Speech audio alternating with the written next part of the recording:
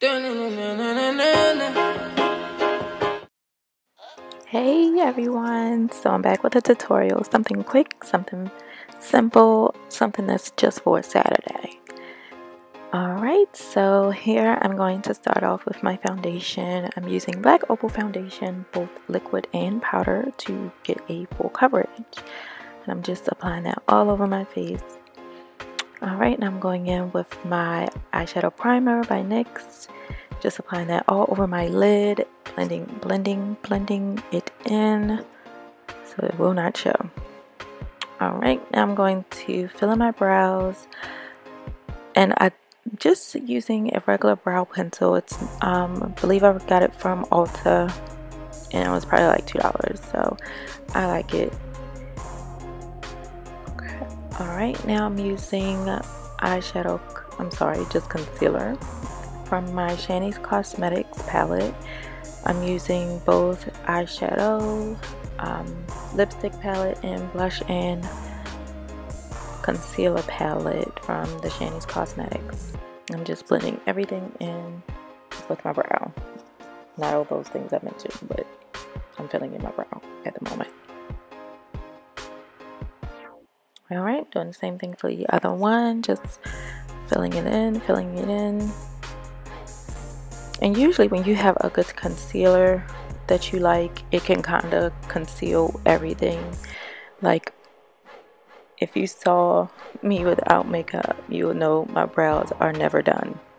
I need to do so much plucking so much. I need to put some effort into my brows. But using concealer I can hide all of that okay here I'm using those four colors four gold colors um, for my eyeshadow I'm just applying it all of my lids. I'm not doing anything fancy. I'm just blending it all in. Now I'm taking a lighter um, gold eyeshadow and applying that to the inner corners of my eyes just to give it a subtle, more shimmery look. I don't know if that makes sense. I don't know if subtle and shimmery can go in the same category. But anywho, I'm using Ben Nye powder to conceal everything. I'm using my contour palette. Um, this is actually a bronzer. I use the bronzer to contour and I'll put the name of that in the description box as well.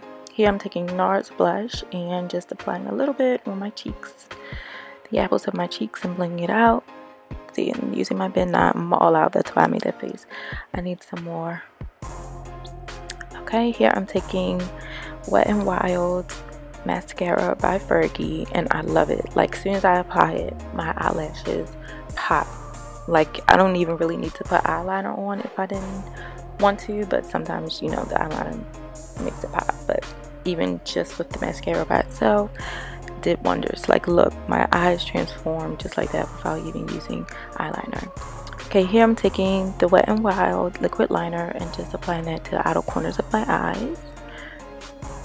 I'm not doing a long cat eye. I'm just doing something on the edge, on the outer corners of my eyes. Uh, still trying to go for a natural look. Okay, here I'm taking a lighter concealer and just applying that on the lower lash line. I find that this process kind of makes your eyes pop more and appear bigger too. So you can have a subtle look but still look done up, if you will.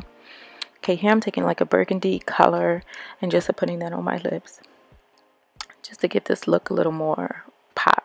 Simple, but it gives you a pop.